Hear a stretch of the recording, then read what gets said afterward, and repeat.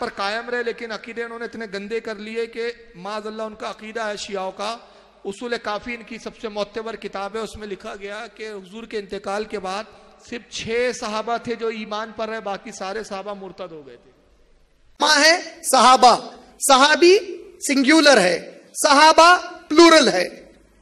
صحابی کہتے ہیں اس مسلمان کو اس مسلمان مرد یا اس مسلمان عورت کو صحابی کہتے ہیں جو محمد رسول اللہ صلی اللہ علیہ وسلم کی دعوت دینے پر، تبلیغ کرنے پر اسلام قبول کیا۔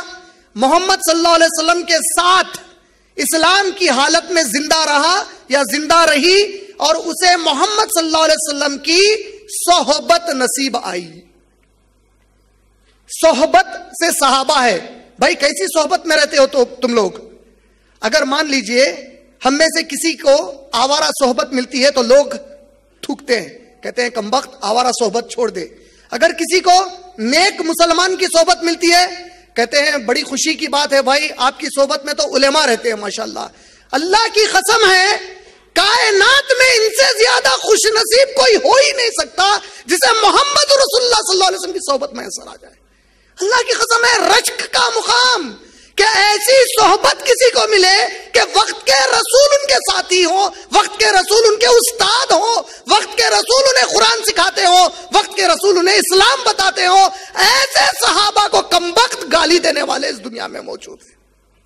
اللہ کے نبی کریم صلی اللہ علیہ وسلم کے جو صحابہ ہیں، لگ بھگ جب اللہ کے رسول کریم صلی اللہ علیہ وسلم نے حجت الوداع کے موقع پر تقریر کی جب آپ نے خطاب کیا، آپ نے واز دیا، تو تاریخی اعتبار سے تاریخی کتابوں میں آتا ہے کہ لگ بھگ ایک لاکھ چالیس ہزار ایمان والے آپ کے اس تقریر میں موجود تھے۔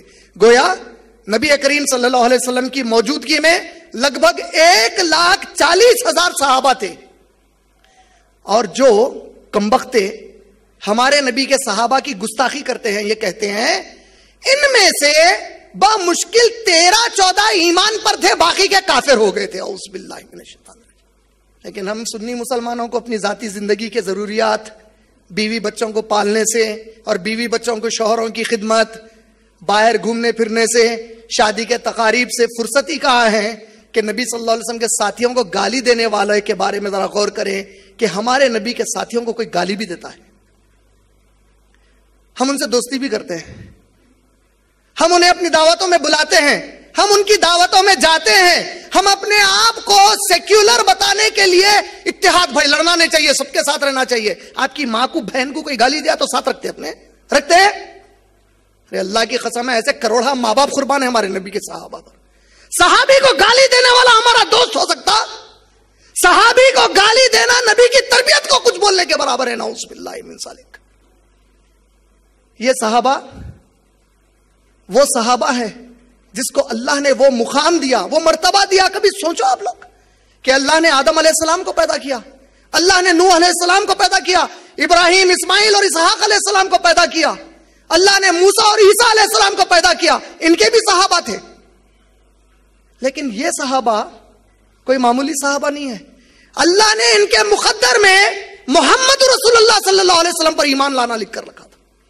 یہ اس وقت پیدا ہوئے جب یہ قرآن نازل ہو رہی تھی۔ یہ اس وقت پیدا ہوئے جب ہمارے نبی صلی اللہ علیہ وسلم کو ضرورت تھی اس قرآن کو دنیا میں عام کرنے کی۔ یہ اس وقت پیدا ہوئے جب اللہ کے نبی صلی اللہ علیہ وسلم کی جان پر بن جاتی تو یہ لوگ اپنی جانیں نچھاور کرتے ہمارے رسول صلی اللہ علیہ وسلم کے لیے۔ آپ اور میں تو اتنے بدبخت ہیں اللہ۔ سورہ نساء ہے۔ سورہ نساء کے اندر آپ کو ملے گا۔ ایسی تفسیر ہے، ابن کثیر کا پہلی جلد ہے، پہلی جلد میں پانچ پاروں کی تفسیر ہے اور یہ مکمل میری دیکھی، میں نے دیکھی ہے اور جو میری نظر میں گرفت نظر میں جو آ جائے، میں اس کو پیش کر رہا ہوں۔ یہ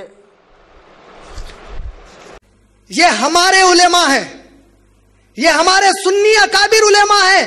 ابن کثیر کون ہے؟ جن کی کتاب سے ہم لوگ تفسیر ابن کثیر پڑھتے ہیں، قرآن کی، جسے ہر سنی چاہے وہ بریلوی ہو دیوبندی ہو تبلیغی ہو جماعت اسلامی کے ہوں، اہل سننا والجماع کے ہوں یا اہل الحدیث ہو متفق طور پر سب سے اچھی تفسیر تفسیر ابن کثیر کو مانتے ہیں۔ یہ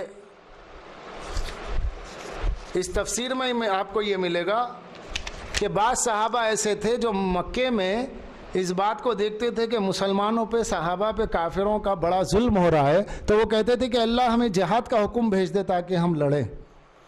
تو اللہ نے جہاد کا حکم بھیج دیا۔ اور وہ پوری آیت ہی ہے جس کو میں آپ کو سنا دوں۔ سورہ نساء کی آیت ہے کہ جہاں شروع ہوتی ہے علم ترا الزین عقیل الحم کفو عیدی کو عقیم الصلاط وات الزکات۔ یہاں سے شروع ہو رہی ہے۔ کیا تم نے انہیں دیکھا جنہیں حکم کیا گیا تھا کہ اپنے ہاتھوں کو روکے رکھو؟ کیسے روکے رکھو؟ جہاد سے لڑنے سے۔ اور نماز پڑھو زکوٰۃ دو۔ پھر جب ان لوگوں کو جہاد کا حکم دیا گیا، اسی وقت ان کی ایک جماعت لوگوں سے اس قدر ڈرنے لگی۔ اب یہ صحابہ کا حال ہے، یہ قرآن ہے۔ یہ کوئی شیعوں کی کتاب نہیں ہے۔ یہ صحابہ کا حال ہے قرآن ہے۔ صحابہ میں اچھے بھی ہیں، برے بھی ہیں۔ جو بہادر صحابہ ہیں، جو مجاہد صحابہ ہیں جنہوں نے ہجرت کی، جہاد کیا، فداکاری کی، جان نثاری کی، جنہوں نے نبی کو تنہا نہیں چھوڑا۔ ہم ان صحابہ کی عظمتوں کو سلام کرتے ہیں۔ لیکن جن کا حال خود قرآن میں لکھا ہوا ہے کہ یہ لوگ، ان کے بارے میں اللہ فرما رہا ہے کہ نماز پڑھو، زکوٰۃ دو، اپنے ہاتھ کو روک کے رکھو۔ تو جب ان لوگوں کو جہاد کا حکم دیا گیا، اسی وقت ان کی ایک جماعت لوگوں سے اس قدر ڈرنے لگی جیسے اللہ کا ڈر ہو۔ یہ قرآن کی آیت ہے۔ فلما کتبہ علیہم القتال و اذا فریق منہم یخشون الناس کا خشیت اللہ، او اشد و خشیہ، او اشد خشیہ۔ یہاں تک کہ اللہ سے زیادہ یہ لوگ بندوں سے ڈرنے لگے۔ وہ کالو ربنا لما کتبتا علین القتال، اور کہنے لگے، اے ہمارے رب، تو نے ہم پر جہاد کیوں فرض کر دیا؟ ہم پہ جہاد کیوں فرض کر دیا؟ یہاں تک آپ پہنچ گئے۔ یہ آیتیں ہیں۔ یہ آیت نمبر ستہتر آیت نمبر ستہتر سورہ نساء، پارہ نمبر پانچ۔ اب دیکھیے، اب ابن کثیر کیا تفسیر کر رہے ہیں۔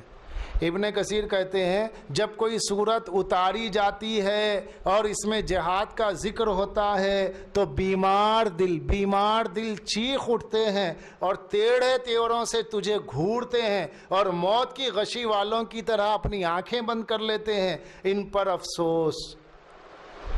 اگر یہ کسی شیعہ کتاب میں ملتا نا، تو عمران اور عمران کے جیسے سارے ٹولے لے کے کھڑے ہو جاتے۔ دیکھو ان کی تفسیر میں صحابہ کے دل میں مرض ہے بتایا گیا۔ دل میں مرض کا مطلب ہوتا ہے نفاق۔